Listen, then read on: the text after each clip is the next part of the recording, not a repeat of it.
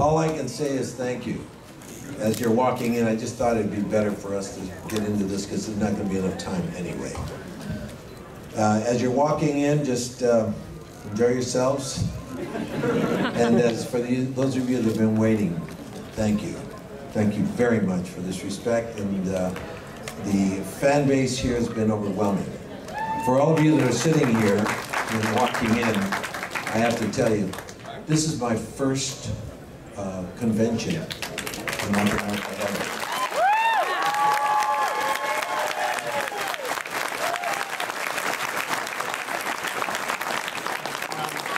And you know what? I was going to sit down, but I will lose too much eye contact with people and they'll have to go crazy because I'm too low. So I'm going to stand up and do this so I can see all of you. I, I enjoy seeing you as much as you enjoy seeing me. And I've enjoyed just meeting people and talking with you. Uh, and through this, it's been an extraordinary experience. And I can't believe how many of you are here right now doing this. Uh, I think we uh, filled the room. So it's been really, really something special. Can I have uh, this microphone turned on so I can talk from here? I didn't think, I thought I could sit and discuss this, but as soon as I sit down, I lose a lot of, everybody starts to lose it, so I better stand up. Let me just get started.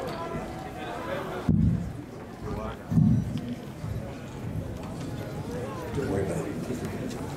Me and podiums don't get along too well either. I'd rather just be kind of like standing up without this podium, and without the table. Just, you know, I, I'm not kidding you, it's, it's very, I feel so self-conscious. I'm not Obama, I'm Obama.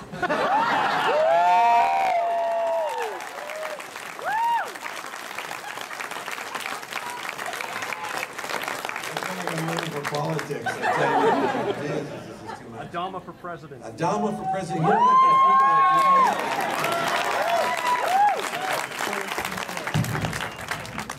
I think you guys know that. I mean, I think uh, you guys, there's some of you that I think did it. Uh, I don't know who did it, but somebody decided to um, make this a situation that I would, you know, Adama for president. And, and I, it was really funny. I mean, basically, I was really stunned by that. So all I can say is that this is your time. It's not mine. I'm here to just get to know you and uh, say thank you to you publicly. That's why I did this, and I'm very grateful that I did it. And uh, as you know, that um, I do do speaking, but the kind of speaking that I do is a little different than this kind. I usually go into situations and they, I deal with, has anyone ever heard me speak? And good, there has been a few people. I do, uh, I work in cultural relationship, really, in the United States of America, which is really needed. Okay, it's really, there's too many people that look like me, either there or coming there, and they weren't quite ready for that kind of a, of an influx of people of color in the United States of America. So anyway, it's changing quickly, as is Canada, very much so. And uh, I'm grateful for it because it's more perspective of what we are in the, in the, planet as a whole. So I do a lot of speaking, but I do it on a different level. This is the first time I've ever done this, so I'm going to open it up for you guys, it's going to get pretty crazy, I'm sure. So if you have a question, just raise your hand. I'll give you a number. One, two, three, four, five, six, seven, eight, nine, ten. Okay, we'll take the first ten. Okay, here we go. One, go. Question. Go ahead. You've done some really great directing, and I was wondering if you could tell us a little bit about that and what you enjoy doing the most. She asks, I've done some really interesting directing, and which Great directing. great directing. I didn't want to use that word. Um, and, and do I, which do I like the most? You know, working in front of the camera or directing it. And I got to tell you, I've never done any directing that I didn't work as an actor in. So I have got to tell you, it's been an extraordinary experience. It started off with a film called, actually it started off with Miami Vice. I did one episode, and uh, I started directing then, and I started, and I, I was the person in the show. I ended up becoming, uh, it was Bushido. It was the only single episode I ever directed, and I ever wanted to direct it. I helped write the piece, and then I ended up uh, directing, and I was very grateful for that. Um, then I did American Me, which is a very, very difficult film. For those of you that have never seen that film, don't see it. It wasn't made for you. And then I went on to do, now I've done, I think, six Battle Stars. And uh, I'm doing the major motion picture for Battlestar. It's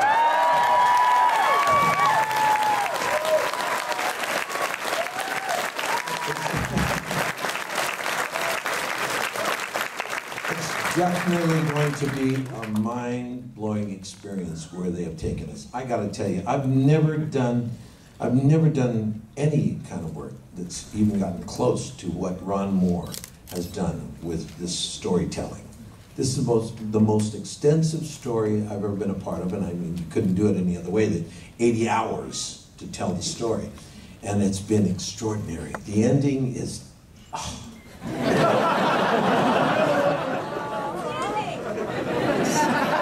you know, emotionally, heartbreaking. I'm telling you, for a reason, because I don't want you guys to, you know, think that you're going to go through this without getting yourself really twisted. Ron has no mercy. And it's been very true. He's been very true to it. It's very dark and it gets darker. Last, uh, the, you know, the end of the third season was just brutal. It was simply brutal. It, it, it devastated us when we were doing it, when we realized what he had done. You know, he had nuked the earth. There was nothing left. And we couldn't even stay there. And so it's brutal what happens to us. Not many of us make it. I will tell you that. Which is really the truth. It is the truth of what actually, if you take a look, you know, Blade Runner did a wonderful job of creating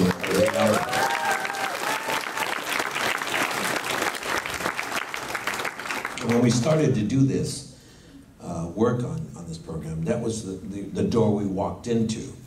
We were not going to do anything less than what really Blade Runner had created as far as reality.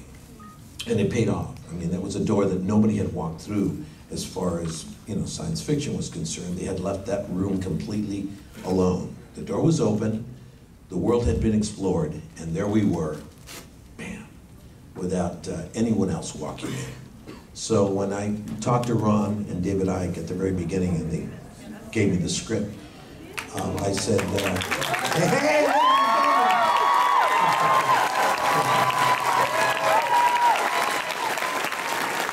One of my favorite, all-time people, Aaron Douglas, Twitter. He's here, he's here to answer any questions also. But uh, basically, he's here just to, to say thank you to all of us. All us. And he's fantastic. Today, yesterday was his birthday, so wish him a happy birthday.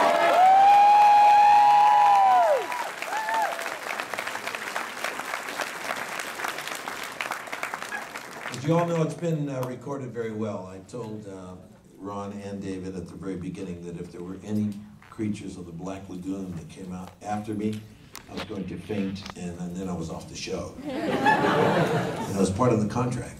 So you could not, uh, even the hybrid, they were afraid to talk to me about it.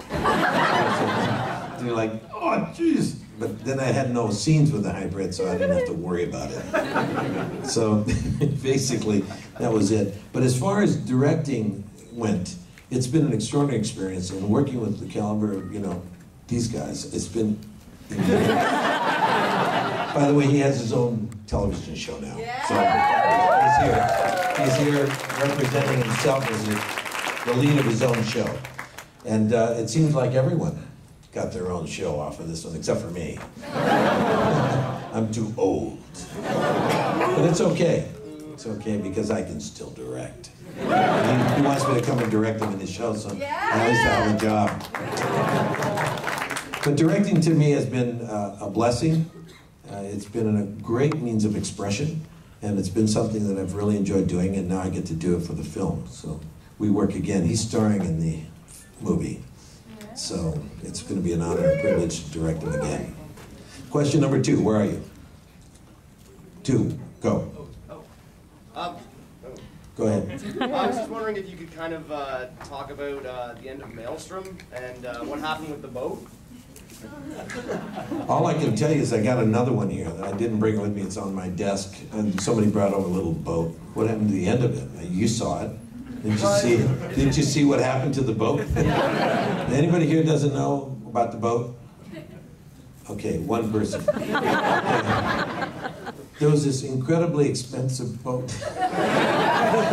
Beautiful boat. It was handmade. It was very old. It was very, very expensive, and I had no idea that it was very old and it was very expensive. So, ah. so they decided to put it in front of me in the middle of a big dramatic moment in the history of Adama. And it was all over but the crying. I mean, by the time I finished the scene, everybody's mouth was on the ground. Everybody's and then, you know, the props department came in and said, it's the only one of its kind. Go, what? Wow. so needless to say, that was it. That was the story. I bashed to hell. And then they they, our, team re, reconstituted it. They, they did. And then Tigh. he lands on it in one of the fights. Goes, "Ah!" that was it. They can't. They couldn't rebuild it anymore. So, question number three. Go ahead.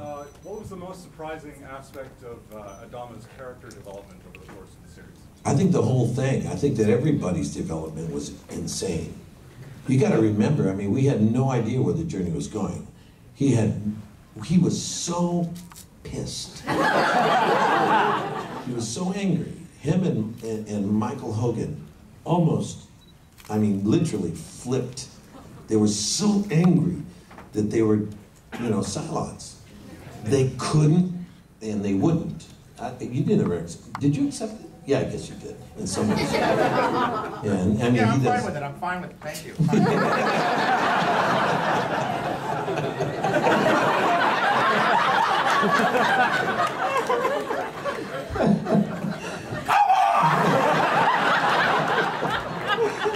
if you ever hear Hogan, Hogan, uh, to this day, you know, Colonel Tigh will refuses to accept the fact.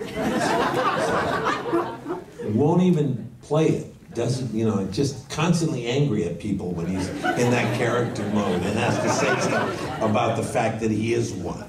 And he never had, he only told me once. He only confessed it up, confesses it up once. And we talk about it, and I, oh, I get so angry. I was so hurt by this guy. And of course, you guys saw, see, are going to see what happens. It's well, you saw it. The third season. Yeah, it was terrible. And uh, but anyway, needless to say, that's that's that whole situation is crazy. And and so Adama, I mean, I'm an alcoholic now, full blown. I, mean, I smoke grass, take pills. I'm a whimpering idiot. I end up. I mean, with that. Come on. Then he comes to set. Under the influence of my character, I am a true method. Right? So, needless to say, I mean, it, it's been a. No one could have even begun to. Can you imagine? I mean, here you have the the what you call the stable force of the show in respects of the Root. He's the father figure. He's you know, the, this, this commanding admiral. You know, the, the whole the, the future of the human race is on his shoulders, and he he's on the ground rolling around. It's really, really, really. I mean, so I loved it. Captain Kirk never went to that show.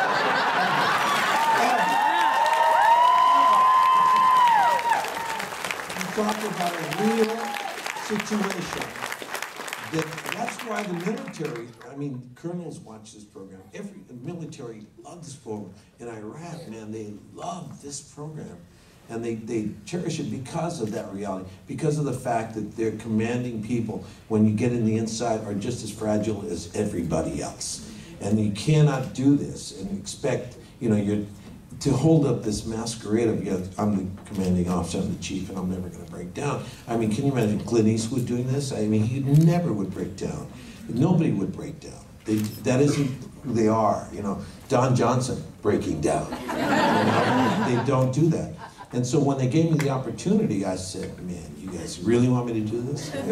I love you guys. And that's where we went. And that's what, I think that's what Chief did, and that's what uh, all of us ended up doing. We became very grateful that we were a part of this show because of the fact that the character bases were like this. I mean, they really went through the drama of it and the trauma. And, uh, and that's what I like the most. So, yeah, Adama was uh, unpredictable and still is. And uh, hello. Somebody's ringing. You'll call him back. Question, go ahead. Uh, one of my favorite themes in Battlestar Galactica is the father-son relationship and how it out. So uh, I like it best because it's mirroring my life too, I'm following my father's footsteps and something. So I wondered, as a father figure, could I have a hug? Yes, you can. Yes, you can. Up here and I'll give you a hug. The chief will give you much more.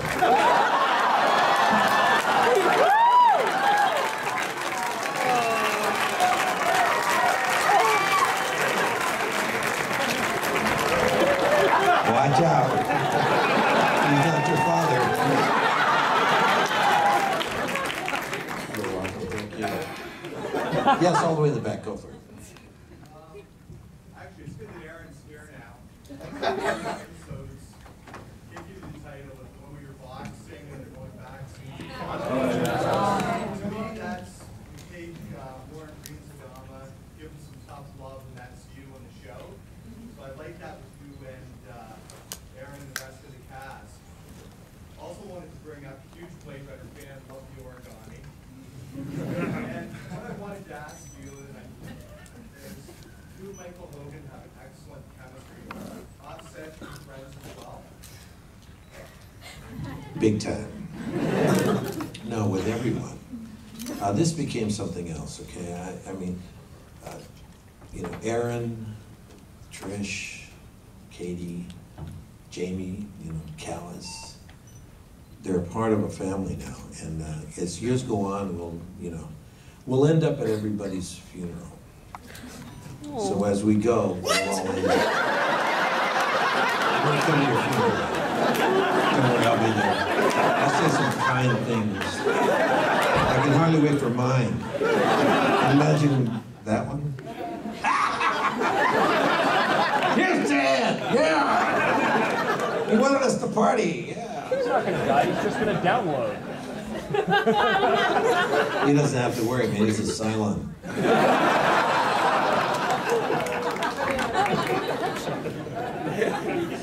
No, but, you know, basically, it, it, yeah, Michael Hogan and myself are very, very, very uh, good friends now. And uh, he's, by far, has the most magnificent arc of the show, bar none. I mean, nobody expected this one to turn around like this. And I think his character just went, goes right through the roof. The last season, all these guys just, all the Cylons go right through the roof. And uh, they should, rightfully they should. That's where I think Ron was the most effective in really making us see first the differences and the incredible hatred, and then the trying to understand it, and most importantly, what happens at the end, which you guys will see. It's breathtaking, to be honest with you. Yes, right there in the back. Oh, right there, go ahead, yes. Hi, Mr. Olmos, thanks for, thanks for coming by. Um, You find uh, with directing and acting, do you uh, get a lot of uh, experience from your Blade Runner days that it applied to today? Oh, yeah, Blade Runner was probably the single most effective piece of work I had done up to that point. Um, it was 1980 shooting that, and working with Ridley was a true blessing, especially the relationship between him and Deckard. You know, Harrison Ford and him, it was monumental. the relationship they had it was a real hate fest. they really went at each other, big time. And uh, at the same time, they were just very professional and they did what they had to do. What I learned in that in that uh, time period was uh, really the, the strength of story. Ridley Scott is truly a great storyteller and one of the giants and a great production designer. That's really what his class is. So I learned a lot about that, a lot about style and production and all of that. And it was great. It helped me out immensely. I'm very grateful. And of course, he was very strong. He was very confident because he allowed me to bring in my own sense of what realities I was bringing into play. I brought in city speak, I brought in the languages, I brought in the origami, I brought in the Asian culture, eh, which dominated the, by the show, the time the show started, was dominated, and which it is going to. I mean, one out of every five people on the planet is Asian, so they definitely carry the strongest culture gene. So basically, he was very, very strong with that. I mean, when he got the origami, when we got to the end and he put the, the little piece in there, I said, right on, Ridley. you know, he did it, man. Because, I mean, basically, Harrison, like Michael Hogan, like, you know, Aaron and a lot of the people, basically those two, he fought, I am not a replicant. And he never played it. You know, he says, I never played it. He says, that's why you are one. you know, it's exactly, and most of us didn't really catch it at the very beginning. It was just so masked, you know, that he was a replicant. And I was the only Blade Runner in the movie. So it was really hard for a lot of people to take. You know, their hero was not, real. he was part of the, the people he was chasing, so. It became something else, and I think now that it's gotten to 25 years and the final cut and everything else, I think people have finally said, wow, I get it. I get it, what he was trying to say and where he was going. Yes, go ahead. Um, probably your mouth's getting a little dry. Give uh, Mr. Douglas Go a ahead. chance to speak. I love your work on iRobot, by the way. Fantastic performance there. The guy behind the guy behind the guy? Yeah. Thank you. I, th- I thought that was really strong. too. yeah. I, I don't know. I don't know how you did it, but you stole the scene. I know. I, yeah. I really um, believed I was standing there quietly. Um, look, I mean, obviously, yeah, you're a Cylon. Well, the character is a Cylon now. No, no, I'm, I'm silent. Okay. Very good. Um, but uh, just looking back, I mean, obviously, hindsight's 2020. Do you feel looking back at any of the stuff you did in the series leading up to that moment, sort of like, wow, looking back at that, that really is sort of, I'm surprised I didn't catch it or anything like that, that pointed, that might have been pointing you in the, that direction that they were going? They had no idea that this was happening. And not, Well they didn't have a clue. So, uh, yeah, for anybody to say that the journey was pointed in one direction and then suddenly changed uh, is right. For people who say we had a plan all along, are liars. um, yeah, it- but it definitely informs season one, two, three, uh, everything leading up to it. What the hell is Wrong show. It was, uh, but yeah, it was, it's a really interesting thing. I, I immediately looked back and thought, well, what the hell does this mean for everything that we've done? And then about the baby. I mean, I immediately thought of Nicky. Like, what does this mean for Nicky? So, um, yeah. So no clue. Who, I had no clue Well, about all of the other stuff. just complete left field. It was complete left field. They were, I mean, they literally stuck up pictures on a wall and went, how about these five? Uh, how about these five? How about these? Well, this one's interesting. Ooh, the fans will hate this. Let's do that. and that's how they came up with the, the final five. They literally sort of just went through a checklist and, and um, yeah, it's a very, very interesting. Wait till you see who the fifth one is. Can't wait.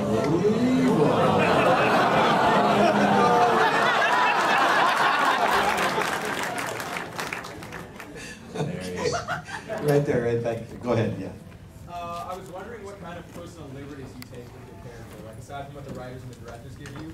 Like I heard that early on the season there was that episode where you're just eating out of a massive bowl of pasta, and you were like, your answer to that was Adama eats pasta. Eddie does whatever the frack Eddie wants to do. There's your answer, and that's it. I I will say this, I've had creative control of my characters since 1984 when I started Miami Vice. It's the only way I could take that show, per se. Since, since that moment in time, I have literally had total creative control of my characters every single time you've ever seen me perform. so what's you and what's the character? Well, basically, that's all, it's all me and it's all the character. And it's basically, they, they, let me tell you, they're brilliant. The writers, meaning, being they, are brilliant because they put forth, I've never once contacted them and say, he wouldn't do this. Never once. And when they put the for, stuff forward and they take, I know what they do in their meetings. They must have just a hell. We'll have them do this. oh, can you imagine what he's going to do with this? Can you imagine what he's going to do with this? Is the way that they talk, because basically the directors come in and they really try to keep us somewhat in story to sit, tell the story. And there's a lot of them that come in and they really have great understanding, but most of them come in and they get behind the monitor and they go, okay, action. and they're watching the show. Do it again.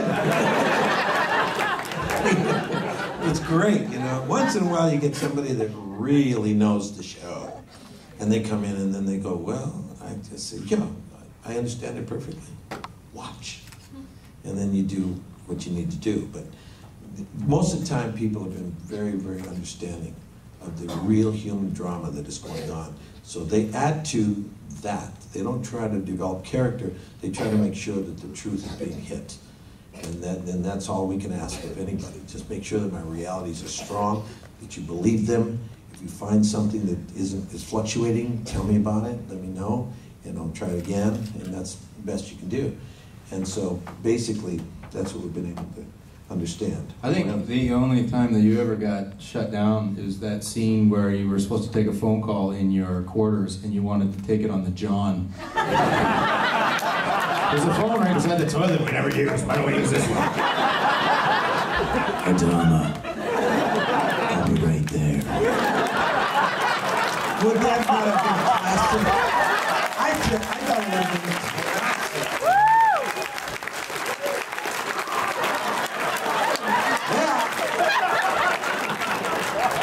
Hang on.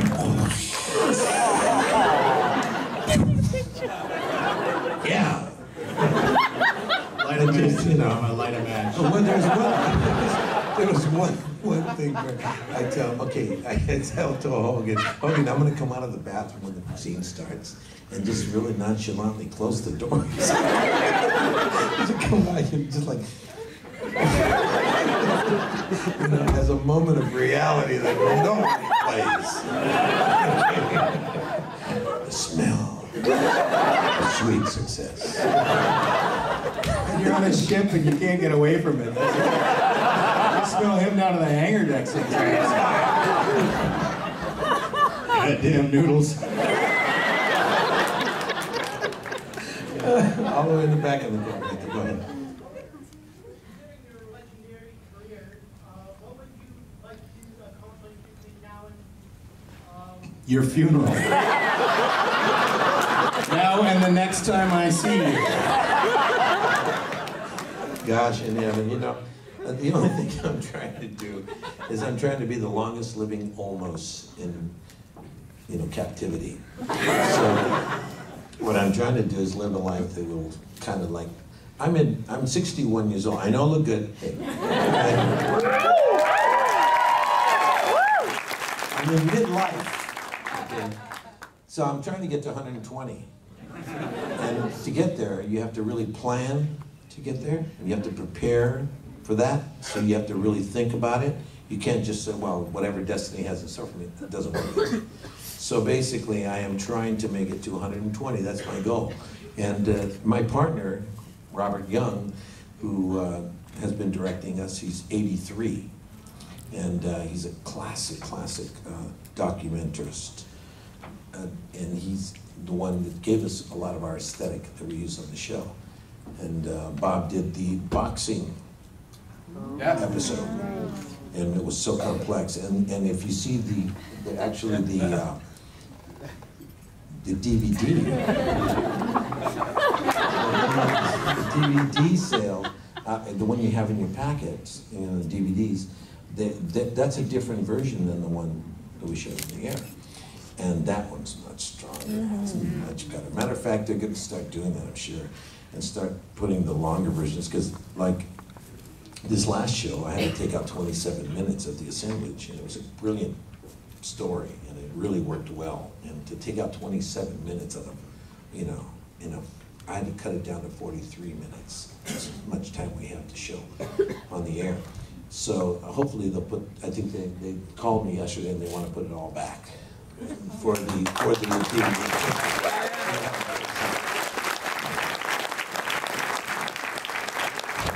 Battlestar's the best show on television bar none, and it's growing in popularity as evidenced by this crowd here. Why did sci-fi feel so hesitant to renew it for more than four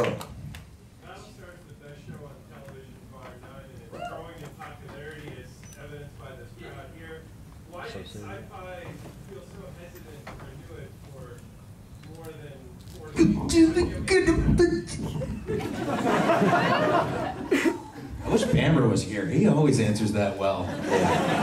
No, They're basically, bloody retarded, that's why.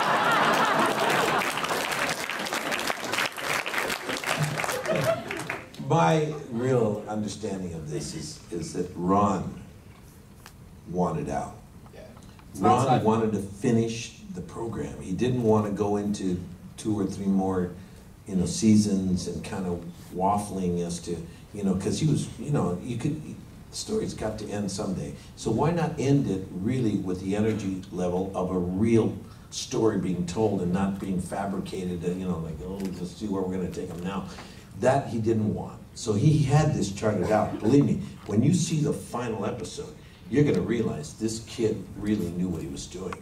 He wrote the last four hours that have been cut down to three.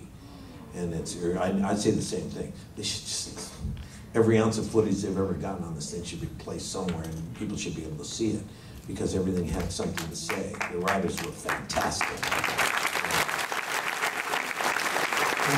I agree with you, agree with you, and I agree with many people that uh, this is the finest dramatic show in television's history so far. And I take that not because West Wing isn't great and Sopranos aren't great and all of these incredible Deadwood. and there's many lost, you know. All of these. Oh come on! it's one of his favorites. And all these shows don't really have an understanding of itself, especially things like West Wing that were so poignant. But this took, this genre allows you to take into understanding things that you can't touch in those kind of shows. And therefore, it got to a level that was much more intense and much higher. Rod Serling understood it. And, and that's why I think that he really took it. Twilight Zone went to a whoof, used to send people spinning, you know, in the 50s. It was fantastic. So this show, per se, has elevated, for me, dramatic structure as well as the science fiction genre to the highest level. And you all deserve it because you guys have all been part of this for your entire lives and you love this genre. And you deserve to know that dramatically you have pushed it to another level. And the next people that come across, whether it be in, you know, in the, in the police station or in a courtroom or in a hospital you know, in the White House, are going to have to deal with what the caliber of what we did humanistically that rang around the world. I'm not kidding you. You think it's hot right now, like Blade Runner. 25 years from today, the show will be better understood than it is today and what it meant. And that's just what Blade Runner did. Blade Runner is like, you see it today and you go, wow, people who had never seen that program see it right now, they thought it was made last week. You know, they think they're watching it, you know, wow, this really happened. It's like great literature. When you see great literature, it could be written back in the 17th century, and all of a sudden you say, wow, you really wrote this back then? Unbelievable. Don Quixote, whoa, big time. The original, all right? Yes, right here. Um, I know you can't talk a lot about like what's gonna happen, but I can't tell you anything else that's happen. What's wrong with you?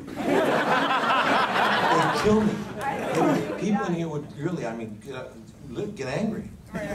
Well, you said you did. A, you're doing a movie and you're you're filming that, which means that there's some kind of continuation from the series.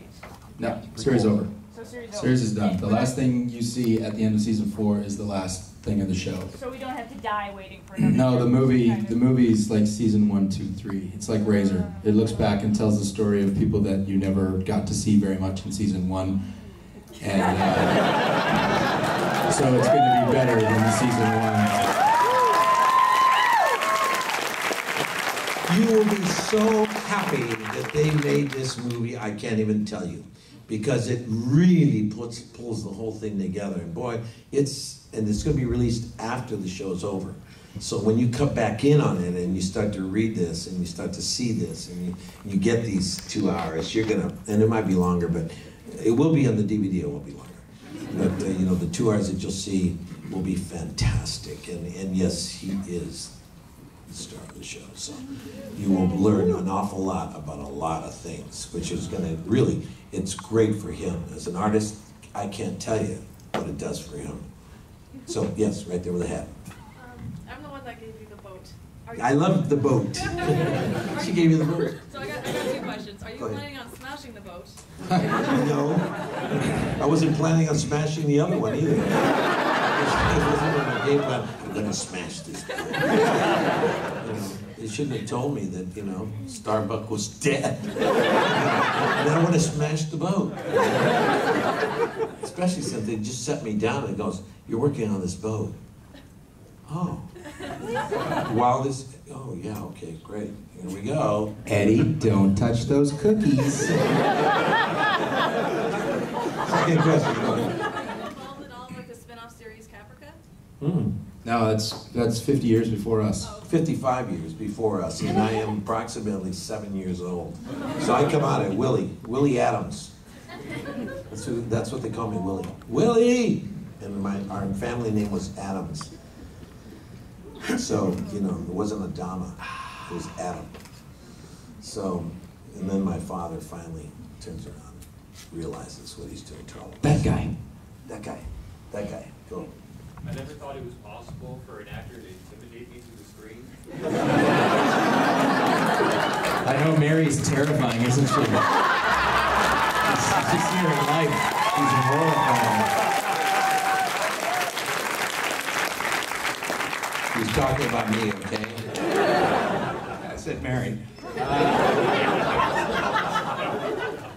some of, some of your scenes, when you are uh, restrained in anger, um, it scared the hell out of me. I, I literally thought you were going to reach through the screen. Imagine being this close to him. How, how do you prep yourself for that? What do you think about some of your characters? It's not about, it's about hitting, it's about hitting the, the truth at the moment, and it's being there.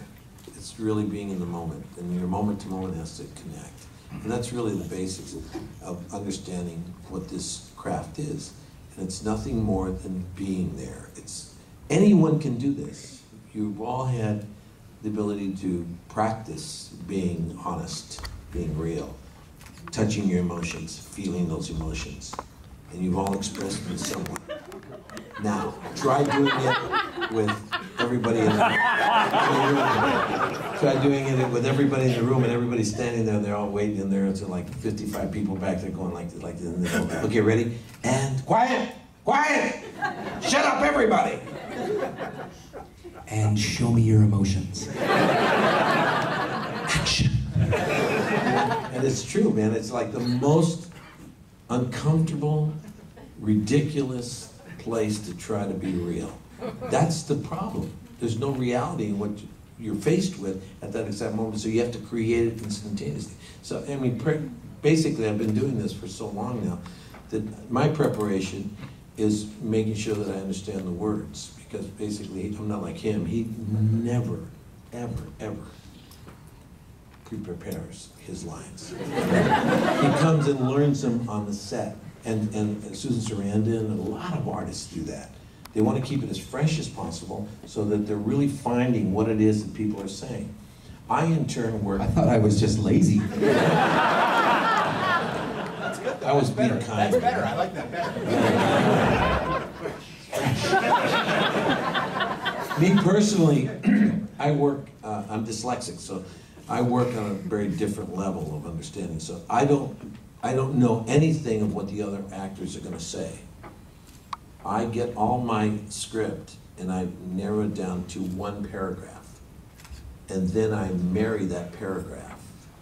And I have no um, breaks in it. There's no, you know, commas or anything, periods, anything. It's just one solid understanding of everything. And then I have to listen to the other person I'm working with to see how in the world does this fit? Where do I talk?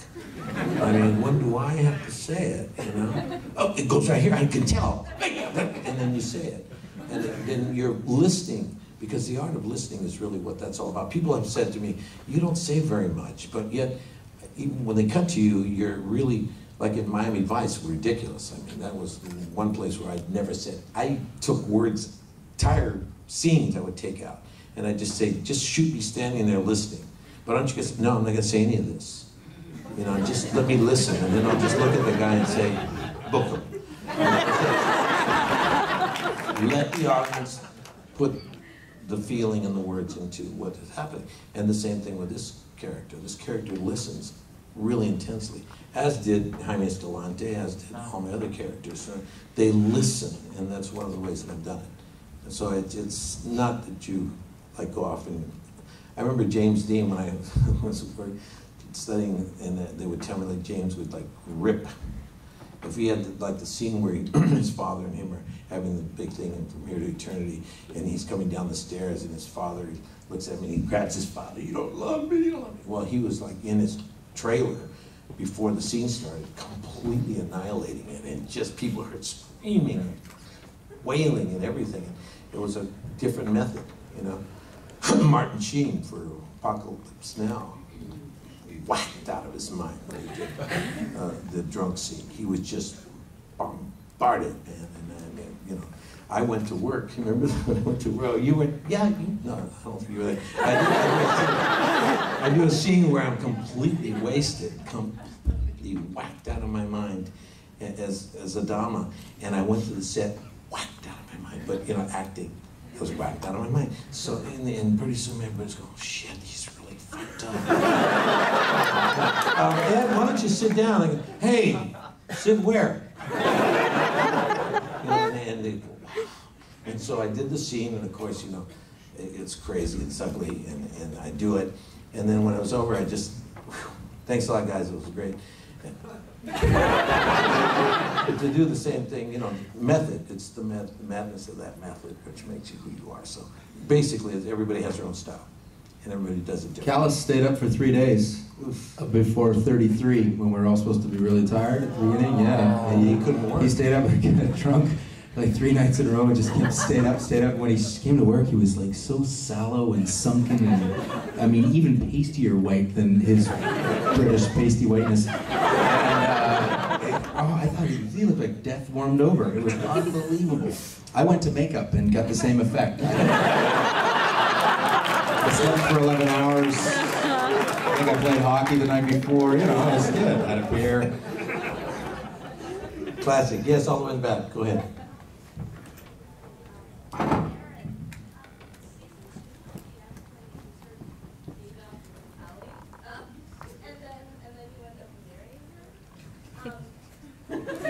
I do that to all my wives.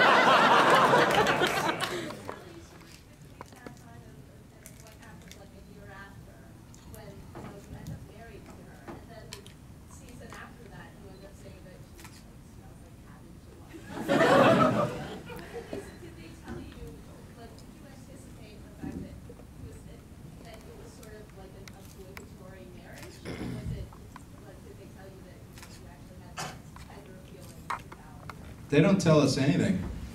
Um, and she smelled like cabbage the entire time. Uh, I just thought it was something in our room, but uh, apparently it was her. Uh, no, they don't tell us a lot. I didn't see that one coming because I really thought, like, in life, Nicky and I are big brother, little sister, and I sort of look out for her and take care of her. And then on the show, Tyrol and Cally was very much the same way. So for them to suddenly be in a relationship, it was like kissing my mom, you know, it was just like peck on the cheek is fine at Christmas, but other than that, you know, um, yeah, it was weird. I think um, Tyrol was trying to find a sense of normalcy, and uh, part of that is settling down and, and, getting married, just trying to bring some kind of normal life to uh, the chaos that is the fleet and that's what people were looking for all the time. They just went, and there's a lot of scenes about that throughout the show.